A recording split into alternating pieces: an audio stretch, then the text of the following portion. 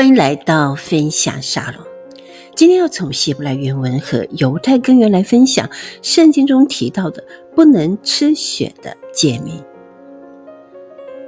托拉学习第四十七周，生命记十二章提到要心意坚定，不可吃血。那么从希伯来原文看，为什么要心意坚定？为什么不可吃血呢？父母避免吃血对孩子有什么好处？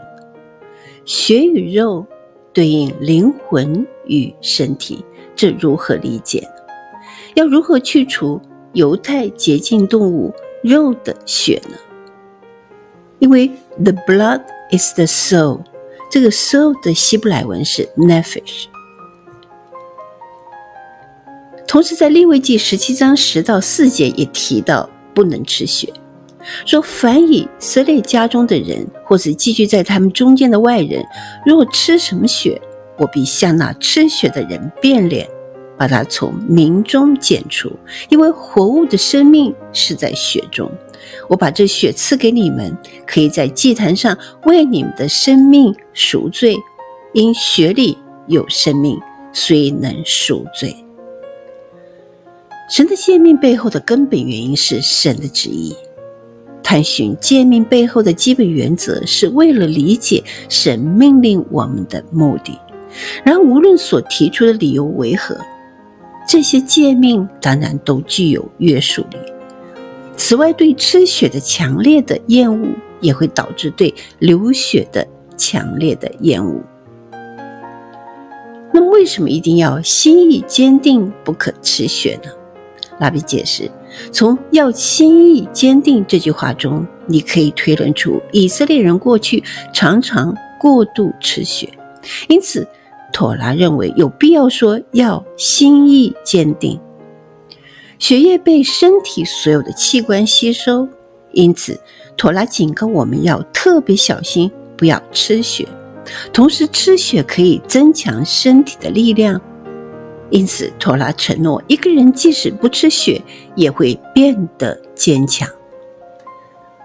拉比解释，这句话只是为了警戒你，并教导你应该在多大程度上加强对诫命的遵守。因为如果托拉需要加强你遵守吃血的禁令，何况其他的所有的诫命呢？那，父母避免吃血对孩子有什么好处呢？有句流行的格言是“人如其食”，一个人的性格会受到饮食的影响，并且最终被塑造。例如，吃辛辣食物的会让人兴奋、脾气暴躁，而清淡的食物则让人平静和放松。吃血会使人麻木不仁，甚至残忍。孩子会继承父母的性格的特征，因此避免某种食物不仅对父母有利，还可以防止孩子遗传不良的性格特征。在《生命中》十二章二十三节到二十五节提到，因为血是生命，这个生命在英文翻为 soul，希伯来文是 nefesh。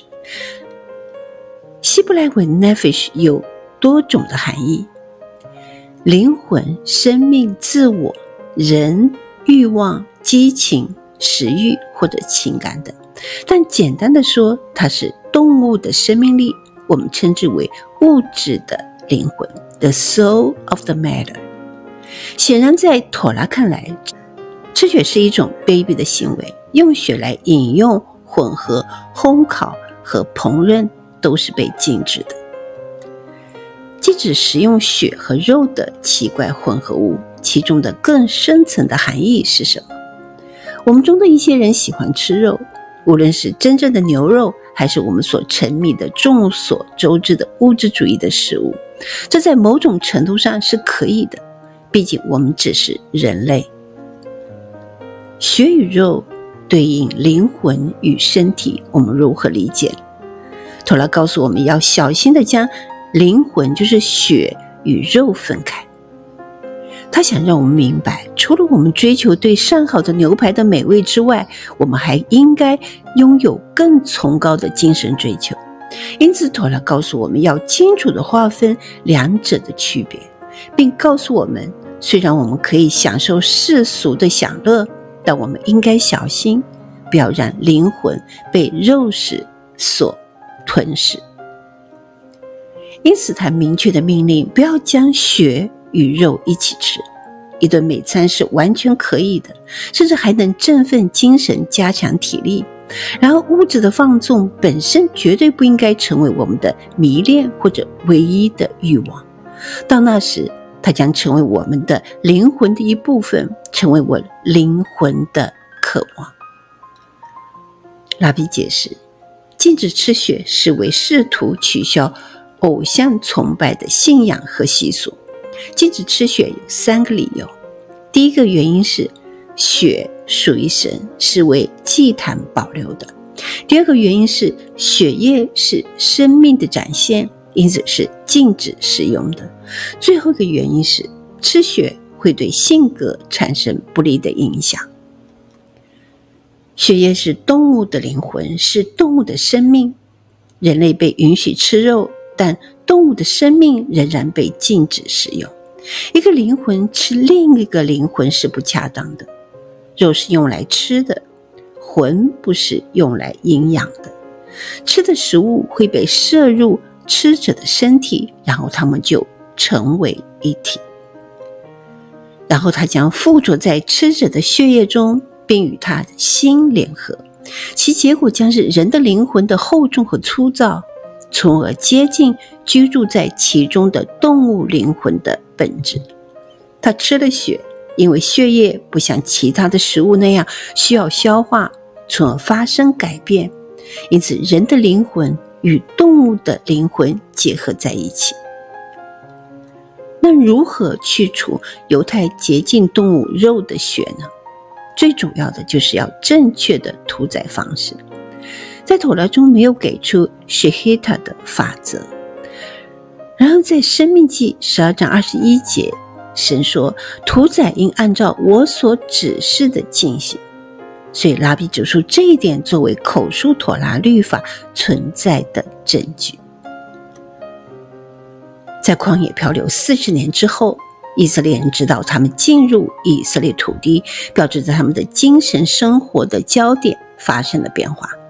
在旷野中，上帝天降玛纳，他们的身体的需求得到满足，因此他们可以专注于灵性的成长。一旦他们进入这片土地，他们就会被要求透过从事世俗的生活，并引导他们走向精神的目标，来改善和提升物质世界。因此，由于动物的血液体现了它的生命力。消耗血液应该是为了提升动物的生命力，或者随后将这种生命力用于神圣的献祭的目的。实际上是一种净化物质世界值得称赞的努力。但血液就是生命的活力，绝不能单独的享受。血，生命的活力必须结合具体的情况。